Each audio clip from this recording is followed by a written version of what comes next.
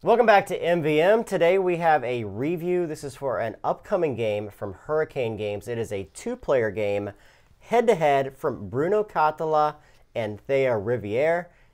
Nagaraja. Yeah, Nagaraja, we had a chance to see this at Gen Con just last week as of filming. And when we say new, it's that new. In fact, I think this copy might be one of the only copies floating about. Yeah, and I'm not quite sure if this is the done version. We have the rules finally, and the rules, the graphic design looks a little bit different than yeah. this. So what you see here may be the final version and it may not. However, the gameplay stands and it's a fascinating game. Yeah, this is a great two-player game. We both love the designers. Uh, there's another one, Bruno's been ripping it up lately with a lot of games, and with a little help here, he's put together a really cool two-player game, unlike anything I've seen. So the idea here is that each of you guys are throwing or casting these fate sticks. These fate sticks are kind of like dice. They're going to have fate points on some of them, and they're going to have Raja or Naga on, on the other sides, which allow you to cast spells. The number of these you're going to be throwing is dependent upon the cards that you use, and each of these are going to be randomly dealt and acquired round after round. But the trick here is that each of the players is going to have a board in front of them. This is a 3 by 3 or 9 spaces, and on the outskirts of this, you're going to have relics. There are three of the nine relics that are cursed.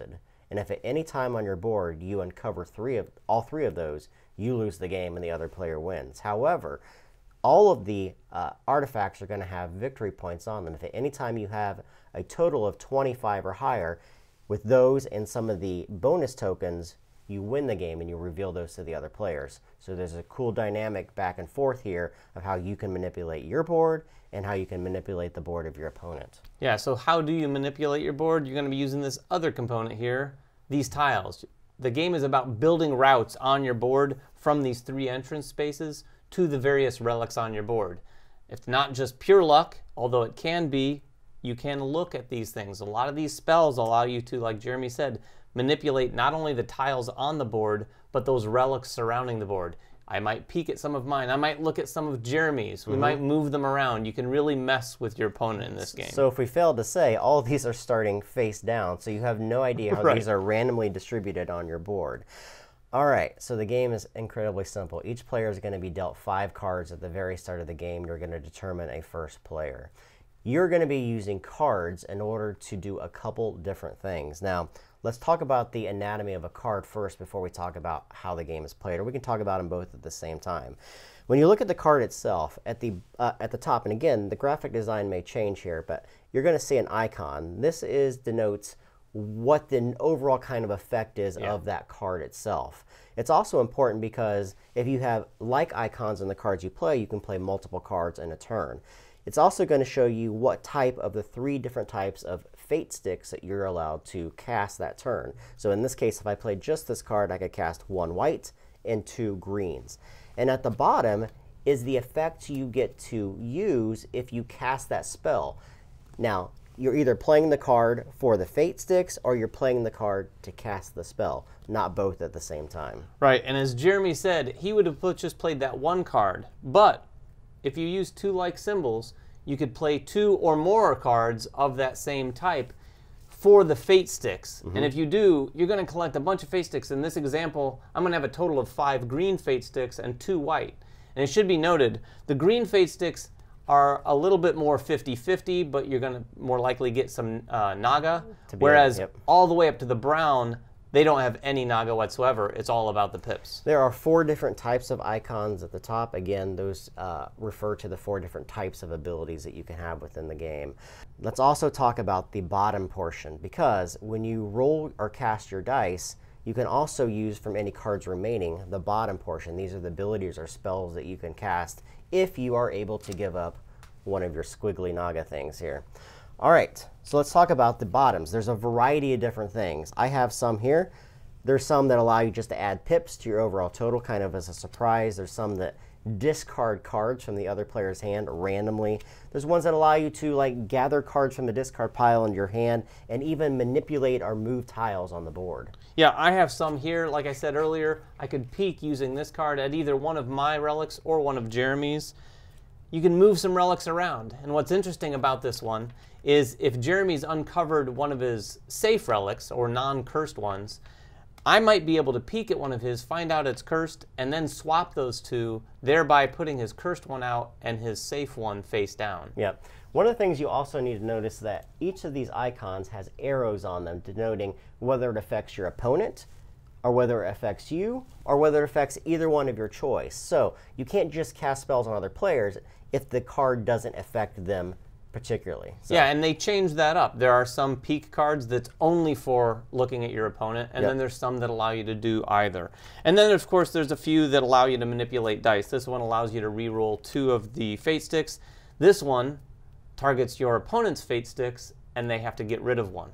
Okay, so how does the game actually work? We kind of talked through the cards themselves. So starting with the first player, in this case David, since he has the compass. Now this isn't the compass that's going to be used in the game. No. We got this as kind of a special token. So he's going to look through his hand and decide how many cards he wishes to play since he is the first player.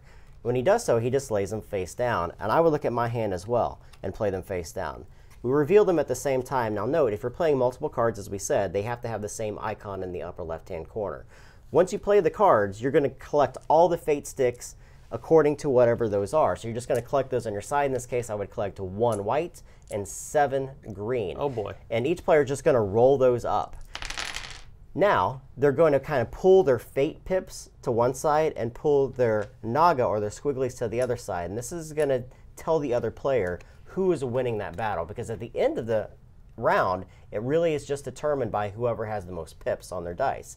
But starting with the first player, they have the ability to cast spells from the rest of the cards that they have in their hand by giving up any of the squigglies back to the pool. And you can play pretty, pretty much any card that you so wish, but hand management in this game is extremely important. So you don't want to dump your hand every round. Yeah, and it's very interesting too because you have to do that one at a time. So if I discard a Naga on a Fate Stick, I play one card, then it's Jeremy's turn. So it's a little bit of a back and forth. It's going to go until two consecutive passes. So I would have to pass, then Jeremy would have to pass, or vice versa. Then whoever has the most pips is going to acquire the tile. When you collect the tile, you're then allowed to place that tile anywhere on your board according to two rules. Number one, it has to be placed adjacent to an entrance or adjacent to a previously placed tile on the board. When you place that tile, you just lock it into place. Some of them are going to have these tokens on them. As long as it connects back to your main area, you can collect this token in secret. These tokens do a variety of things like maybe some hidden victory points, maybe the ability to draw extra cards, maybe the ability to do other things within the game. Then, if it touches any of the outside relics or artifacts, you have to immediately flip that up. In this case, that's four victory points plus the two hidden from my hand. I'm six points towards my 25 and winning the game. So you can see this game is all about manipulating, finding routes, and then manipulating other players' boards. Yeah, in order to get those relics or to get those tokens, you have to connect those things back to those three entrances, which can get really tricky, particularly if your opponent is messing with your board. Now, I think the genius behind the game is the hand management because at the end of the round, this is what happens. A new token is flipped up so everyone sees what that tile is, and then the player who lost the round, in this case David, he's going to draw three cards, always three cards. He looks at all three of them. He chooses two of them to keep into his hand, and then he gives the other player one card. So this, you know, if I used all my cards, I'm going into the next round with one card and no other cards to cast spells. So it's just a pure luck for me at that point. So being able to draw cards and be able to manage those hand of cards is extremely important. Not only that, but the abilities on the bottom, because once you start locking these into place, you have to really think about how you want to manage their board, how you can manipulate their tiles around so that it maybe gets one of their cursed artifacts and so forth. Yeah, the other great thing about that is if you're the person looking at those three cards, you're choosing that one card to give to your opponent. So Yep. if you can get into their head and determine what kind of game they're wanting to play. Do they want to play a really interactive game? Then deny them the cards that are going to allow you to allow them to do things to your board. Again, the game is going to be played like that, back and forth, until one of two things happens. One, if any player has uh, all three of their cursed relics revealed, they lose. Or if one player has 25 victory points claimed on their side without the cursed relics contributing to three. The other way, actually, the game can actually end in one other way. If all nine of the spaces on a player's board are completed, then you're just going to see whoever has the most victory points at that point. We So- haven't had that happen no, yet. no, it usually ends before that. So that's Nagaraja. What do you think about it? I love this game. Yeah. This is probably uh, I've not played all the games from our Gen Con hall, but this game is probably a candidate for my favorite game of Gen Con 2018 for sure. I love two player games. There's this is doing things that I've never seen it do before. Uh, one of the things in particular that you just mentioned that I like, the cursed treasures. You think the cursed treasures, you don't want to flip them, right? You do. But you do. You just don't want to flip three of them because Yeah. the cursed treasures, I think, are all worth six. six points. Yeah. So they can contribute to that 25 significantly. So if you can push your luck, flip two of those cursed treasures, and run to 25 before your opponent flips your third or you flip your third, you could win the game. Yeah, there's also some really tricky hand management in this game, as I've, as I've said a couple times. Which cards you use in order to cast those fate sticks is extremely important, but also the cards that you keep in your hand because you want to be able to view other players' tokens. You want to know where their cursed treasures are because once they flip two of them, you want to manipulate their boards with other cards so you can create paths that unlock those to them because there's multiple things that you have to think about in this game. Not only uncovering yours, but trying to deny them or uncovering their three cursed. So there's a lot of things to think about with the cards, not just how you play them, but the order in which you play them in. Oh, absolutely. Uh, One other thing, too, I mentioned the dice. A lot of people see something like this and think luck, luck, luck.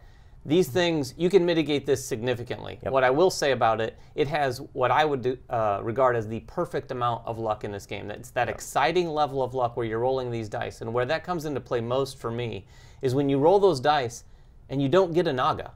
Uh, because then you're kind of you feel a little naked Yeah. uh, for the rest of that round because if he had two naga he knows that he can spend his naga and do some powers and i'm defenseless i really can't do anything more to adjust the pips on my fate sticks that is an interesting situation and it all comes down to the cards you play and the dice you select Yeah, and it's very interesting too because, as, as you said at the very beginning, some of the larger sticks, the whites and the browns, have a large number of those fate pips on them.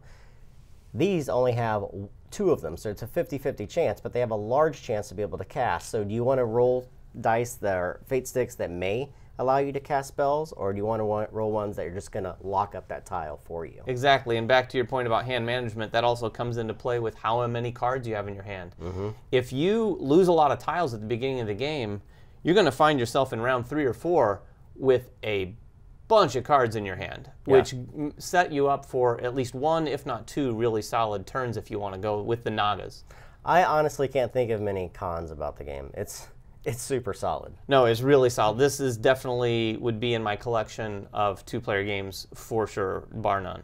So Nagaraja, I have no idea when this game is coming out. I think it's maybe around Essen. It's still a ways off. It's Yeah. not being produced. I think this is just a very early look at the game. If you guys have any questions about it, make them in the comments below. Subscribe to us, follow us on Twitter, like us on Facebook, everything else that we do, and we will catch you guys next time. Bye bye.